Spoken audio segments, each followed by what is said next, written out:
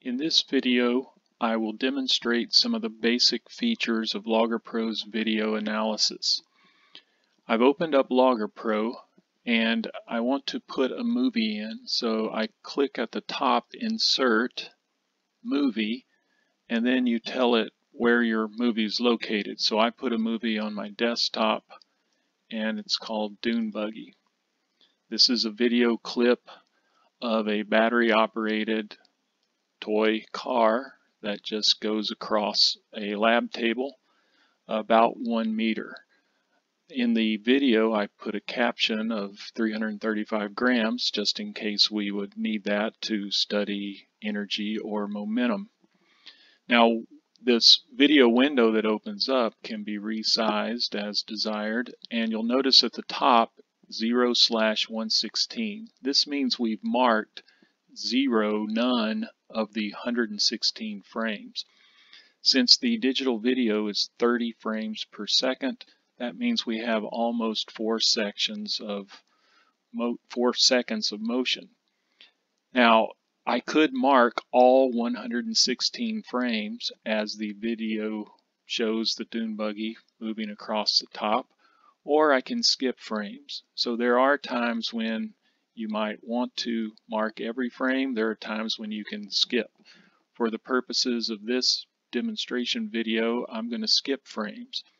So I can do that either by clicking at the top where it says options and go to movie options, or I can right click on the movie window to get my movie options.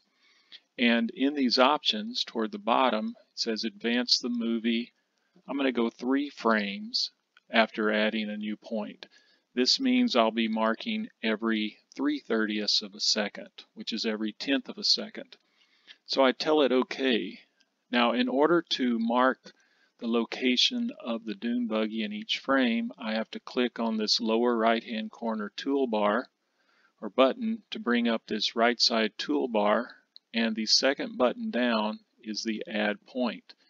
Once I click on it, anywhere I left click on this movie window, it will put a dot and put the pixel location in my data table. So I have to be careful. I'm going to mark the middle of the front wheel and try to get that same place in every frame. So we're actually seeing where the object is at every 3 30ths of a second. So this will be about uh, 40 or so marks, so I'll go through and mark pretty much every one of them here. Now, there are times when you will accidentally mark in the wrong place, and you can go back and correct that, but it's usually, I find it's easier to correct a mistake after you've gone ahead and marked everything to go back to that spot. But of course, it's always best not to mark in the wrong spot. So as I go through and do this, imagine um, you've got this many students with this many stopwatches and they're all timing it, uh, seeing where the object is at different times. When I get to the end of the clip, it stops and I can um, move that around, but if I click on the data table over here, I can expand it, and what you can see is as you mark a video, the time in seconds, and see it was every 3 30ths of a um, second, so every tenth of a second, it gives the X and Y pixel locations and the X and Y pixel velocities. So we don't really want pixels. We want centimeters, meters, inches. So the way that we scale it is this fourth icon down is the meter stick icon. It says set scale. I'm going to drag, left click and drag my mouse from the left end of the meter stick to the right end and it will ask me when I let go of my mouse what this distance is. Well, by default, it says one meter. Um, I'm going to call it 100 centimeters. As soon as I click OK, all of the pixel locations and velocities in the data table are updated to centimeters. So now we have the x and y positions in centimeters and the x and y velocities. Now, the initial position we marked is at 13.89 comma 40. Well, the origin by default is the lower left-hand corner of the movie window. So the third button down lets us place the origin anywhere we want. And wherever I put it, the data table automatically updates the values. Notice that the velocity values don't change whenever we move our origin. Speed is independent of the exact position, it's only the differences. So if I want to put my origin at the first point we marked, the starting point, I can put it, hover over that first dot, click there, and if you're really careful, the X and Y locations will be really close to zero. So the closer they are to zero, looks like my Y is pretty good. That's um, 10 to the minus 13 centimeters. That's pretty darn close to zero, even though my X is a little bit off. So I've marked the video, I've moved the origin, and I've scaled it. So you have to be careful. If I click anywhere on here again, I'm going to move my origin. So I want to go up and click that top button, set point, so that now I don't accidentally click and um, move the origin or something. So I can right click and copy this movie window and I can paste it into a Word document or a slideshow. I'm going to click on the graph and so as we were marking the video the data table was automatically being filled in and a position graph of X and Y um, was automatically generated. I don't want the Y, so if I left click over here on the column, I can tell it to just give me the X. Now I'm going to clean up my graph and label it so I can right click on the graph, go to graph options, and I can call this position versus time. I can throw in more grid lines. I can make the uh, title any color I want it to be. And sometimes you want to put in a legend. Usually you don't need a legend if you're only graphing one thing. But if we're doing kinetic potential total energy, we would click legend. On axes option, I'll call this position in centimeters. By default, the x-axis is automatically time in seconds. I don't really need to change anything there. I tell it done and now I have my graph is titled. I have the y-axis labeled. I can click and resize this as needed. Stretch it whichever direction you want. So now the only thing I want to do is get the equation of this graph. So I'm going to highlight these points. I'm left clicking and dragging my mouse till the points are highlighted.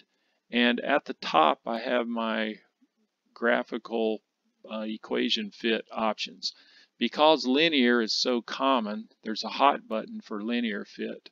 So when I click linear fit, it gives me the equation. The slope is 25.45 centimeters per second, which is the velocity of the dune buggy. The y-intercept is the starting position at negative 0.018 centimeters. It gives me a correlation. And I can also include error in this. If I want to right click on that box, I get linear fit options and I can set it to either decimal places or significant figures. I can put the uncertainty on there and on appearance I can change the font size and I can also change the um, color of the text. So I tell it OK and now I've got it larger and in green.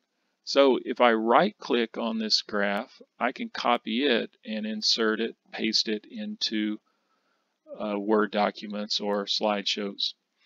Now, any whatever window you click on always comes to the front. So sometimes you think, I can't find something, it's gone. Well, if you right click on a window, you can move it to the back, and there's my movie window. It shows up again. The next thing I'm going to do is add a velocity graph. So you can click on your graph, left click over here and change it to X velocity if you want to, or if you want to keep both graphs at the same time, you can say insert graph, and by default, the graph that comes up is always the last column in the data table, and it keeps the axis label that you had previously had. So I want this to be an x velocity graph and I'm going to change my labels and titles. So this will be velocity in centimeters per second. My graph title will be velocity versus time. And when I tell it done, I don't get what I really expect. If the velocity is constant, we expect a horizontal line. Well, the problem over here is our scale. Um, this is zoomed in on between 23 and 27. So let's suppose I want to go all the way up to 50 centimeters per second and my lowest value will be zero. Now it looks a lot more constant. Now we could do a best fit equation for the horizontal line, but it's usually preferable whenever we have something that's constant to run statistics. This is the 1 over 2 statistics. And when I click on that, it gives me my minimum, my maximum, and the mean and the median with standard deviation. So this graph is telling me the velocity, average velocity was 25.39 centimeters per second, plus or minus 0.67. That 25.39 is pretty close to the slope of our original line. So the other things that we can do with this, if we want to change the color or type of uh, points that are put on our graph, you can go into your data table, double click, and you can change things. So on options, instead of it being a red filled circle, I can make it um, a filled plus sign. I can change the color. I can put in error bar. There's a lot that I can do there. So this gives us a lot of functionality. So those are the basic features of Logger Pro's video analysis. Other video clips will highlight some of the other features.